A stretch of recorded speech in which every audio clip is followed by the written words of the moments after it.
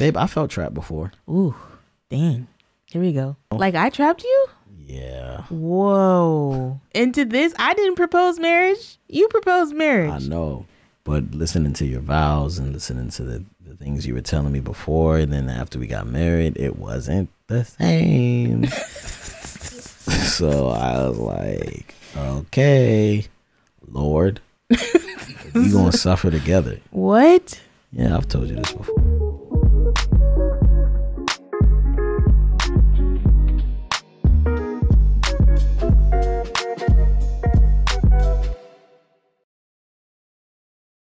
Hello, my name is Mrs. Melanin, And I'm Beleaf Mel. and we're here with episode 68 of How, Married, Are You? Mm-hmm.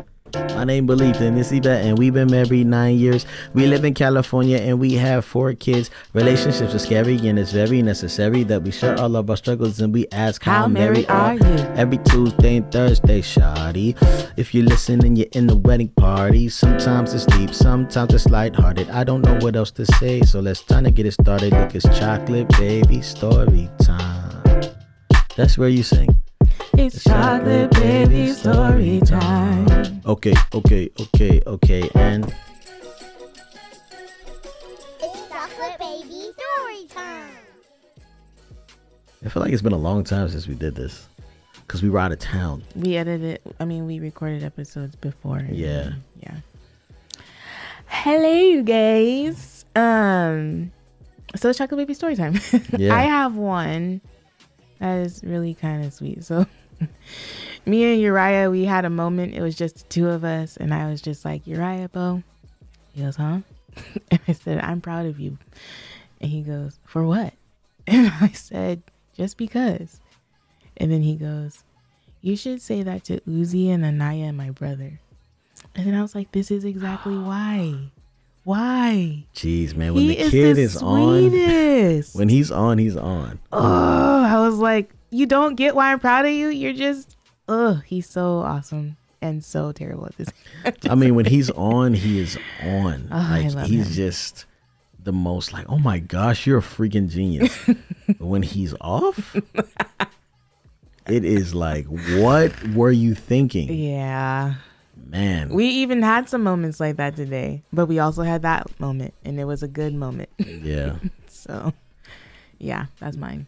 yeah. I I really enjoy the gunfights that we have. We uh the kids been asking me for a long time, Dad, are we gonna do a gunfight? When are we gonna do a gunfight? And they they were pretty adamant about it, and I just was like a little bit like busy and like not able to do it. But on Saturday, we had like this all out war, and Anaya's getting involved, and it's just the greatest thing ever. And the highlight reel is crazy. If you go to my Instagram, Beleaf Mel, B E L E A F M E L, you can see like these like shots that I'm taking, and I'm just you know, Nerf guns. I mean, I remember when I was a kid, my dad, I think he did it like once or twice, but he had Nerf guns and we would like play. And I was just like, man, this is amazing. This is so fun. But it never really happened like that. Like, it happened like mm. once. I mean, and it lasts so long. Yeah, we play until. It's like, okay. well, I mean, think about like if you're in the middle of the day and you're like, man, I need to let make this time pass. You know what I'm mm-hmm. saying? So I used to do that and then make him go take a nap. You know what I mean? Or just wrestle mm-hmm. with him and make him take Yeah, because you and Uriah Bo end up with sweat. Like, it's just crazy. Yeah. The way y'all sweat it. Yeah, Theo don't be sweating like that. yeah. And Anaya definitely not. But you and Raya, it's like y'all are going hard. Yeah, it's so fun. I think I want to do that on Saturday mornings. Just Saturday morning, just uh, gunfight, and then Friday night family night. Mm-hmm. Yeah. It's fun. All right, and that was Chocolate Baby story time. Where we at? What's happening right now? We are? Okay, so I do oops. I um I do want to go back. I'm not gonna play her voicemail because it's six minutes long, but um the woman who called in about me being very selfish for the vasectomy delaying, postponing, whatever. Um, she did call in to kind of clarify what she was saying. And she spoke about how um, she wasn't necessarily calling me selfish, but she was calling my response to your desire to have a vasectomy selfish. And then she was also saying she also went further. And so like no hard feelings there if you're listening to this episode as well. Um no hard feelings at all. I just kind of wanted to address it for everyone because i'm sure there are a lot of you guys who are like where are you guys at with that? Did glenn get it done or whatever? And so i kind of wanted to provide an update. I used it as a means to provide an update anywho she went on to ask us to kind of clarify like what what is our relationship with our audience? What is our relationship with the wedding party? Um, do we want advice or do we just exist to exist? And so, um, I, I, I don't think it's so much like what you say as much as it's how you say it. I don't know because I'm sensitive and I'll admit that. Yeah. Um, and so things get to me probably more than they get to Glenn.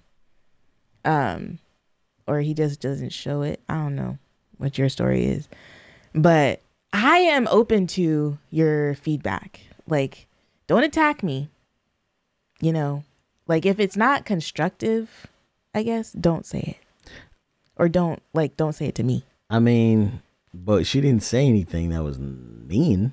I know, but she was just asking. I think yeah, I don't know. I don't know how I came off cuz I wasn't I knew she didn't wasn't trying to be mean or malicious, but I wanted to Go ahead, sorry. but I wanted to address that for myself. So, Yeah, I think that you know, like I, I I'm very sensitive too. Like people talk about my parenting, I'm a horrible father. I mean, a lot of people say I'm a great father, but then other people be like, "Yo, you are terrible, and you should go to jail." what? Yeah, like you know, some people really don't believe in spanking. You know what I'm saying? And they're like, "Well, if you ever spanked your kid, you need to go to jail for child abuse." You know what I'm saying? Especially for people from other countries. Mhm. and you know people be talking you know and sometimes it, it, it hurts because it's kind of like man i'm allowing you and so the, the thing is what a what a wedding party is right when you're not a groomsman you're not bridesmaids right or are they are groomsmen Yeah, and there are bridesmaids? groomsmen and so i feel like they can give advice Yeah, and so um one of the things like I don't know if this is true for you, but it's true for me. Like one of the reasons that I've kind of come along on this whole let's share our lives with the world thing because I think we've shared on here before how I wasn't comfortable with it at first. But one of the reasons that I became more comfortable with it is because so many people who follow along with us were saying how um it was just nice to see what are you laughing at? Because they would say it's nice to see like a healthy black family but i think since we started the podcast people probably like they ain't so healthy. Uh, which well- which is true. Like i mean like i Mm-hmm. don't know. I feel like we are healthy but we still have issues. Like nah i mean like but health isn't devoid of issues. Yeah yeah yeah yeah. You know? Yeah, we got to think of a good analogy.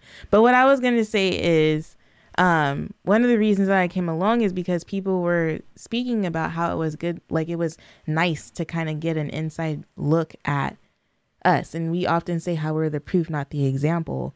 Um the proof that you can like have all these obstacles or all these things that you have to encounter in life and still like be a a unit and move forward, push forward in these things while relying on Christ. And so, um, anyway, I guess like this podcast is just another opportunity for us to share on probably a more in depth level than the channel usually does. That we aren't perfect, that we have things that we're working through, and that the things that we're working through are probably the same things that you're working through.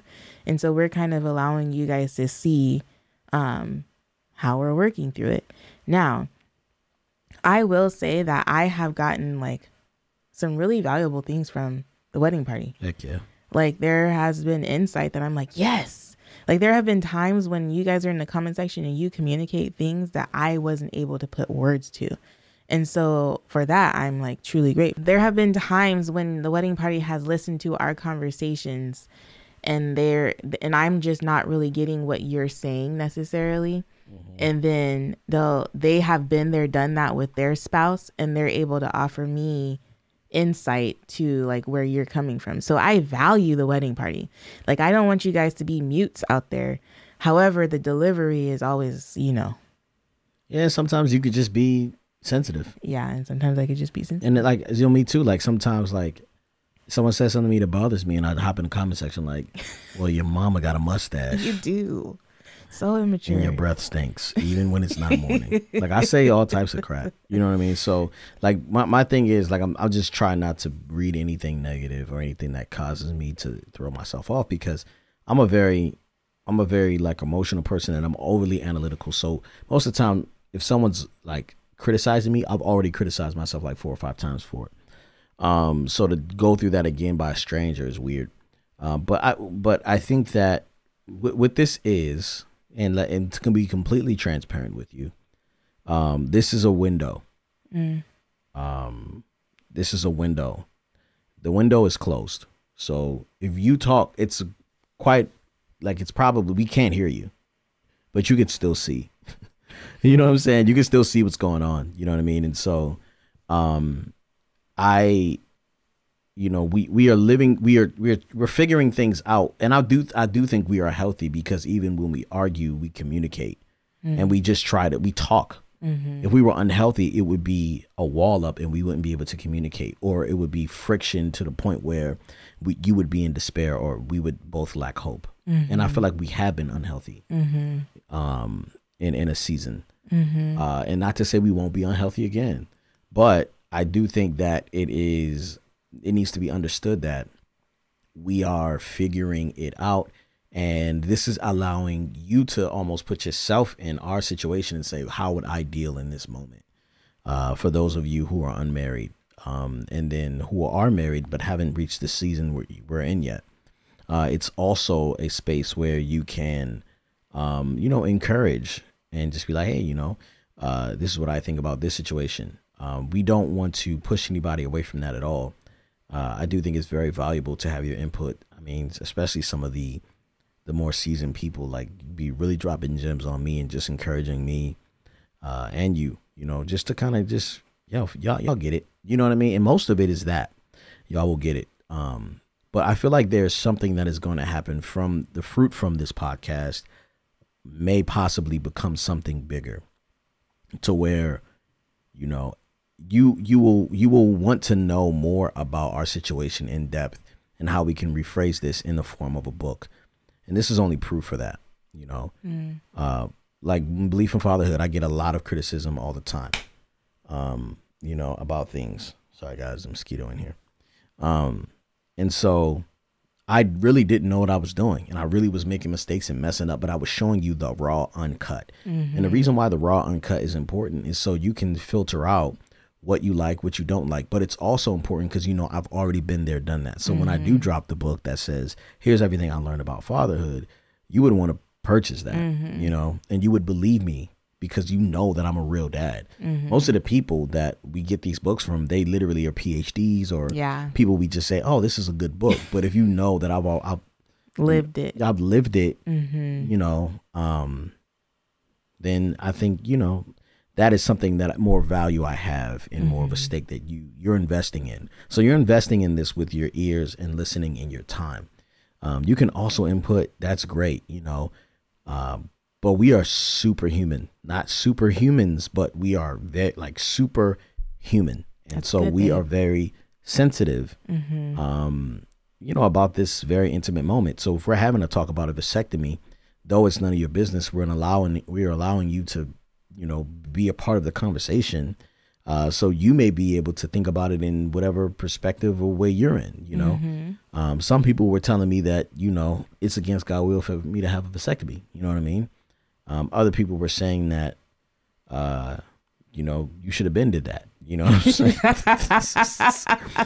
so like, I think that everybody's, you know, and you got to take everybody. Like I'm learning what a grain of salt Yeah. is. You know what I'm saying? Like I you can't get no that yet. flavor off no grain of salt. You know what I'm saying? So if whatever somebody's saying to you, just go ahead and listen to it. And okay, cool. You know, well, good for you. You know, um, but we got to understand that we're we're really trying to figure it out, and yeah, we appreciate it.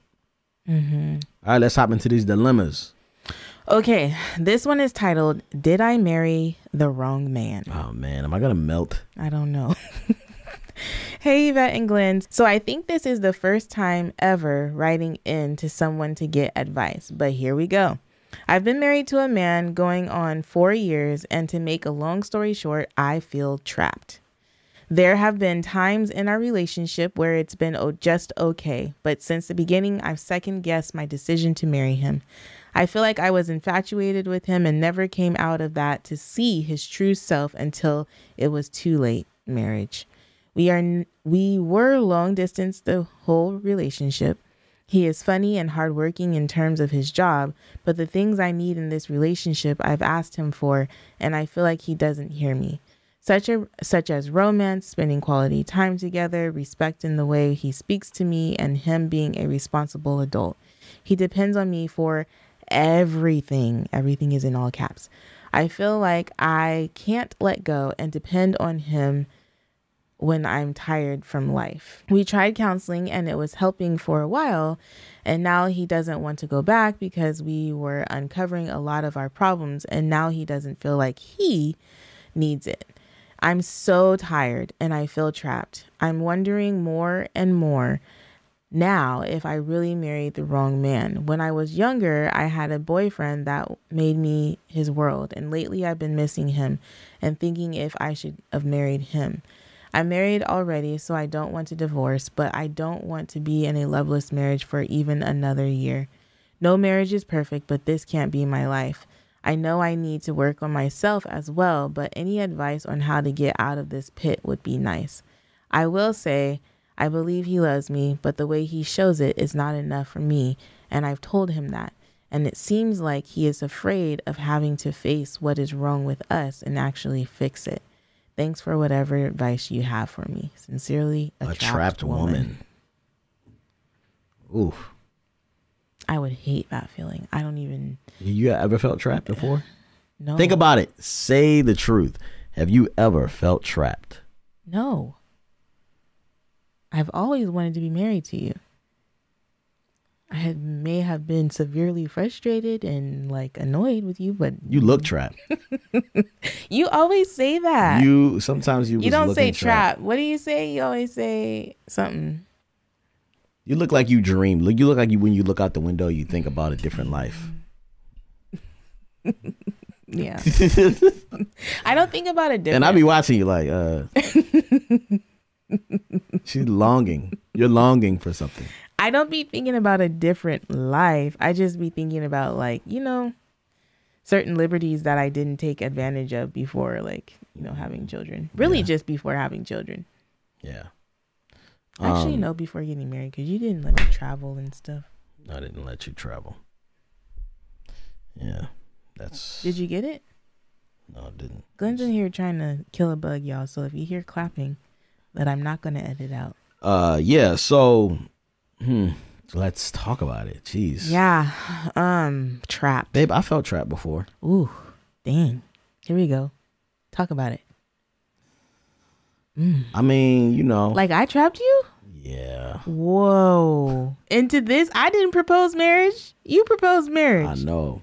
But listening to your vows and listening to the, the things you were telling me before, and then after we got married, it wasn't the same. so I was like, okay, Lord, we gonna suffer together. What? Yeah, I've told you this before about the sex stuff. Like, you know, like you not wanting to talk about sex or So you felt trapped because you weren't getting the sex that you thought you were going to get? Mm, I felt trapped because I was unable to communicate with you in a way that would that'd be better for both of us. Did you feel trapped or did you feel hopeless?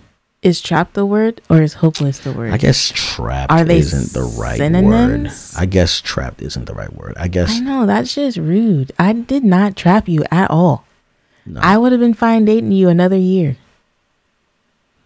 Um yeah, I guess trapped isn't the right word. I'm sorry. Hopeless. It's hopeless.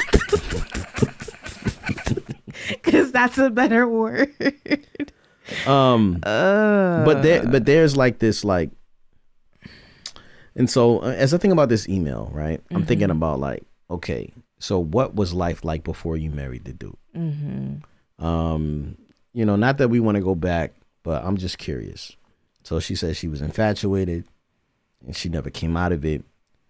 But if we if he was starting to show a lot of the things that she wanted to that she needs to be shown as a woman, then I feel like this wouldn't be such a trap situation. So um I feel like there is there's possible hope here, but I think that there needs to be a conversation different from what she's having. So so what what I'm what I'm seeing is like all her woes, right? Like all the issues she's having with the situation. She's like, I'm telling him this, I'm telling him this. He's not doing it. You know what I mean? And I've been the guy that you tell me something and I'm just kind of like, you know, like that's I'm not I'm not gonna do that. You know what I mean? Or I'm not I don't know how to do that. Um and so I would definitely instead of getting um, a counselor, I would try a mentor couple, Mm. someone that he respects. Mm-hmm. Maybe Um, let him choose the pers- person. Yeah, nah, you gotta- you gotta agree. Together. Yeah. You gotta agree on that. Um, but I don't feel like there there's no hope here. But at the same time, it's challenging to know that she is like playing this role and she's not getting anything fulfilled for herself. And so maybe we should. I mean, like, do you feel like she's trapped? Um, I can't say that for her. Mm. Because I'm not sure that she's trapped either. Like, I feel like she might be more like you and lack hope. Because if he's not willing to get the help that he needs or that the relationship needs through therapy, because it's uncovering some things that he doesn't really want to go there yet, then it's like that's a man, theory from her though. That's why she that's why she said that's why he doesn't want to go. That's not that may that may not be the truth, you know. I mean, it may be her truth, but it may not be his truth. Mm. You know, because like you asked me, like, "Hey, we need to go to therapy. We are jacked up and such and such and such." I was like, "Yeah, I ain't really got time for that." Yeah. Um, you tired? Babe, I'm always tired. I was up at 5:30 this morning. My alarm went off at 5:30 and I actually got up. I'm proud of myself. I was very confused. um, yeah, I think I think I don't know if she's trapped, but I do feel like she's hopeless, and I do feel like there needs to be an example for this man to follow. I feel like I've been this guy. In our relationship? Yeah, man. Like, you know, like not scared to spend money, not wanting to go anywhere. Um, I mean, I, I've I've always wanted to like improve our relationship and marriage and stuff like that. Uh, but, uh, you know, not being romantic. You know what I'm saying? Um, you see that that longing. That's what that looks like right there on your face. You think about all the examples of that. Um yeah, I just feel like she's tired and she's just kind of over it. Uh but I, I I do feel like this is fixable. Yeah. I don't feel like there's no hope. Like I feel when like you're in it though, it feel like that. I know.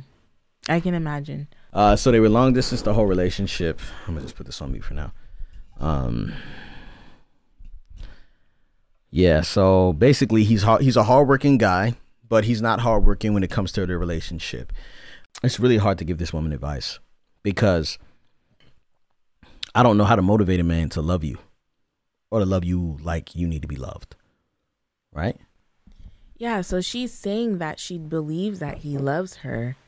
It's just the way he shows it is not enough. And so, So they're speaking two different languages, maybe. Mm-hmm. He's he's doing it as far as acts of services are, is concerned, and she needs it in a way that is you know more physical touch, to quality time, and something else. I wouldn't even say so much physical touch as mm, I don't know. I yeah, basically you guys are speaking two different love languages and you're trying to figure out how do you get him to speak more your love language and I would just say persevere in speaking his. Yikes. Nah. Nah, no. Nah, I think I think she needs to communicate like, hey, like I know that you're trying to love me and you're doing as best as you can through your actions at work, but there's nothing else that shows your love to me. And I and you know what I'm saying? Like I don't feel your love in your communication. I don't feel your love in how you and I'm not trying to beat you up here. Ultimately I want us to get better. I just don't know how to tell you this. And I feel like when I'm you know, and there's one thing. It's like, is he open to receive it? Can she explain it without breaking, like, break falling apart? You know what I'm saying? Not that she's sensitive or anything like that. I'm just saying, like, one thing that I have been able to do with you and you've been able to do well is like I can communicate my perspective and say, hey, I'm not feeling this, this, this, and this.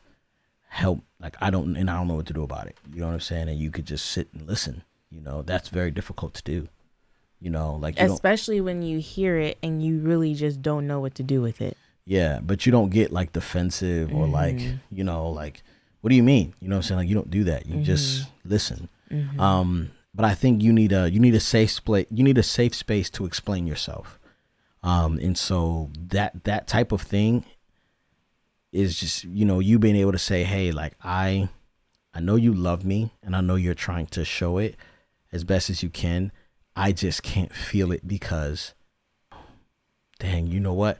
He's probably he's probably like a, a standard male where he he goes to work, he works hard, and that is his contribution. And she's like, I I need, need way more. than that. I need mm-hmm. way more than that. And she's four years deep in and she's just tired. She's exhausted. She's probably been trying to tell him this for a while in so many different ways. They, they've been married four years. I've been married to my husband going on four years. Yeah.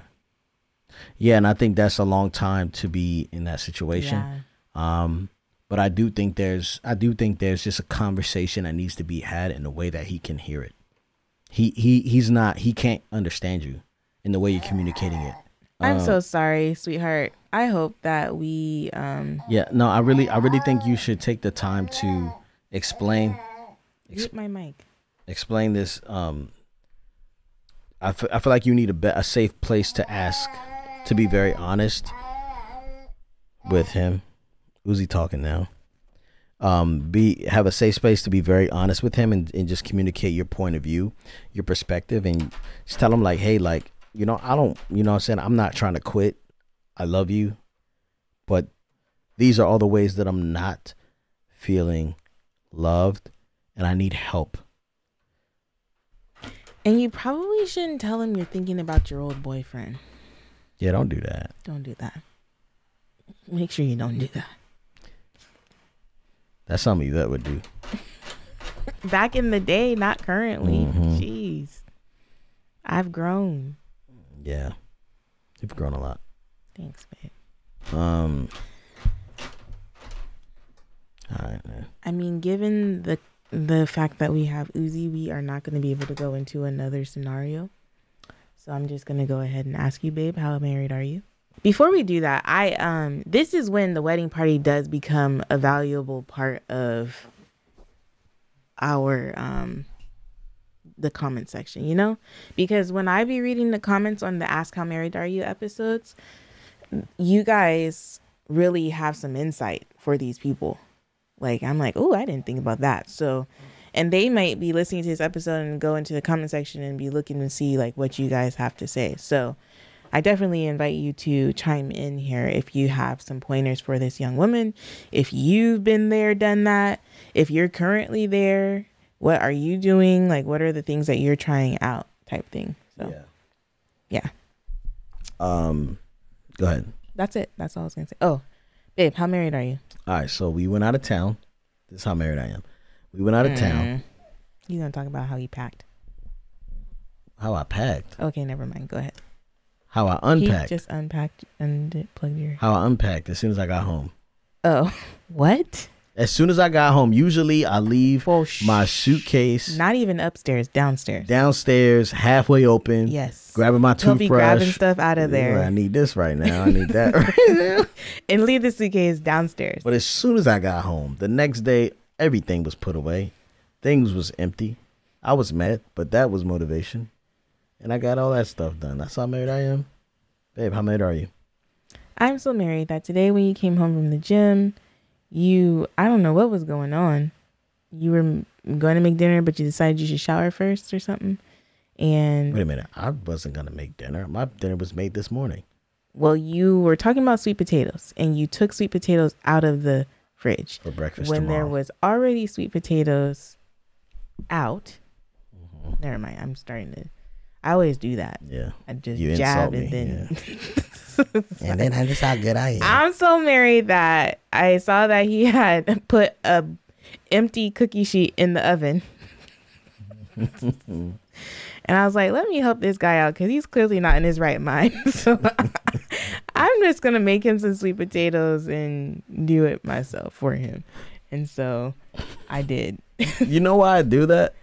It was wet and I didn't dry it off, so I just put it in there to dry, dry it off. off? Yeah, and then I was gonna. And then you disappeared for 30 minutes. it was more like forty-five. But okay. That's better.